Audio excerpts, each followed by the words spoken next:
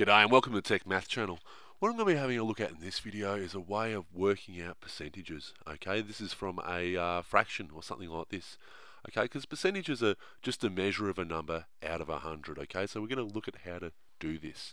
Now, first off, I think it's really, really important that we actually get this definition of a percentage down pat now, because I think this helps a fair bit. Now, if you understand what percent means, you'll do pretty good.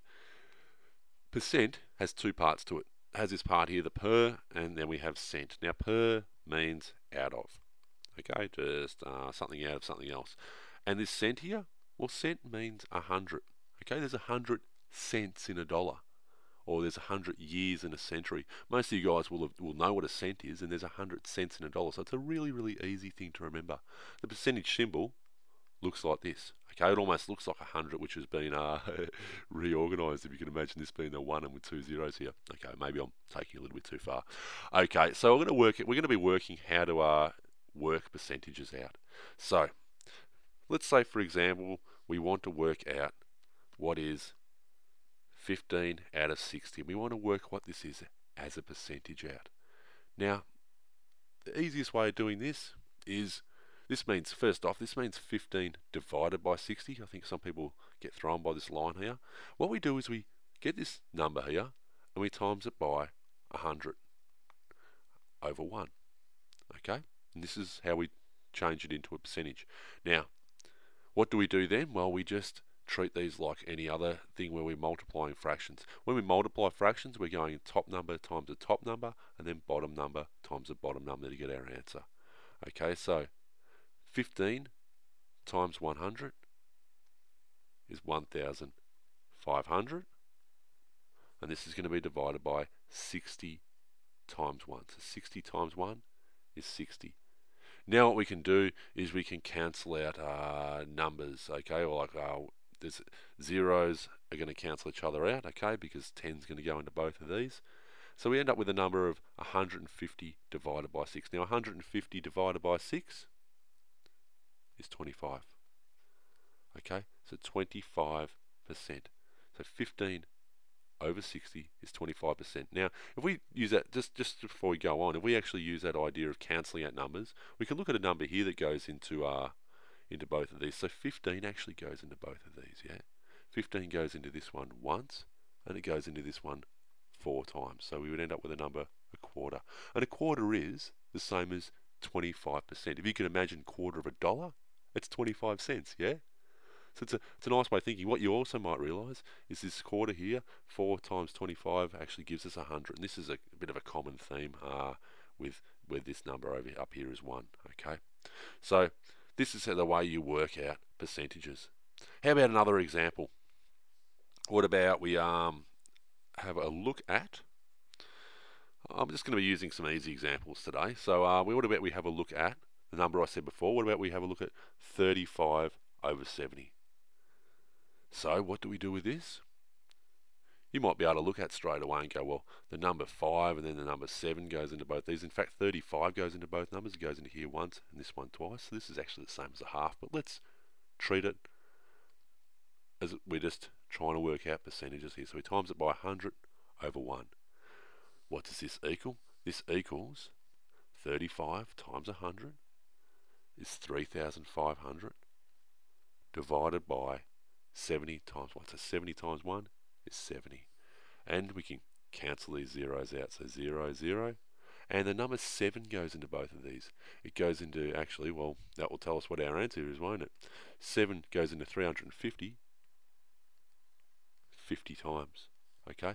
Our answer is 50%. And again, to, to say what I said before, 35 goes into this once, 35 goes into 70 twice, so a fraction up there is the same as a half. So a half is the same as 50%, yeah? Uh, you might again also notice that 2 by 50 is 100. Um, half of a dollar is 50 cents. Okay?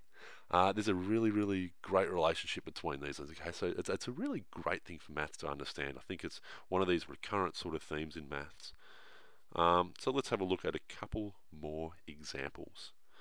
What about we have a look at this example, a bit of a harder one this time, nothing too taxing. We're going to do 16 divided by 20. And so to turn this into a percentage, what are we going to do? We're going to times it by 100 over 1. Okay?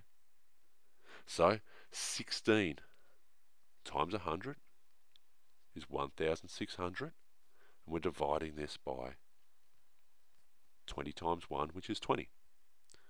Okay, we can cancel these zeros out to start off with. And then we have 160 divided by 2. Now 160 divided by 2 equals 80. So our answer is 80%.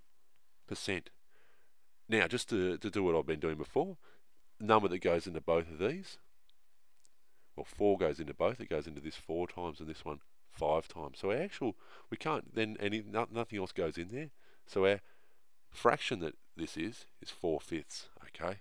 We can't actually do this uh, any further, okay? So, but 4 fifths of a dollar is 80 cents. If you can imagine one fifth, dividing it by 5 is uh, 20 cents, and then times it by 4 is 80. So this is a correct answer. Okay? So this is 80%. Let's uh, just go one last example. Hopefully you're going really, really good with these and you're getting a degree of understanding with this. What about we do 9 over 20? Hopefully when you do your uh, percentages test, you'll get better than 9 out of 20. You'll be really, really good at it and you'll actually get 20 out of 20 and you'll get 100%, yeah? Because 100% is everything. But let's have a look at 9 out of 20. Sorry for daggy percentage sort of comment there.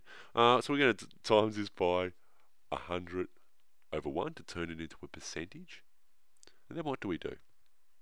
You'll remember that 9 times 100 is 900. 1 times 20 is 20. What can we do next? We can cancel out these zeros, yeah? And we're going to end up with this 90 divided by 2. Now 90 divided by 2, if you get 90 and you cut it in half, you're going to end up with 45%. Okay, this one, funnily enough, we actually can't take down anymore. There's no common number that goes into 9 and 20 except for 1, and that won't actually really change our uh, fraction here. But our answer is 45%. Okay, which makes sense because 9 is a little uh, less than half of 20. Okay, so we should expect a, an, an, and half is 50%, so we should expect an answer a little bit less than 50%. So this is a, a good answer. Now anyway, uh, hopefully you're really, really good with these. I'll put some links up for other percentage things I've got. Uh, it's really worth checking out, especially if you're just starting out with these. But I hope that helped a fair bit. Okay, see you next time.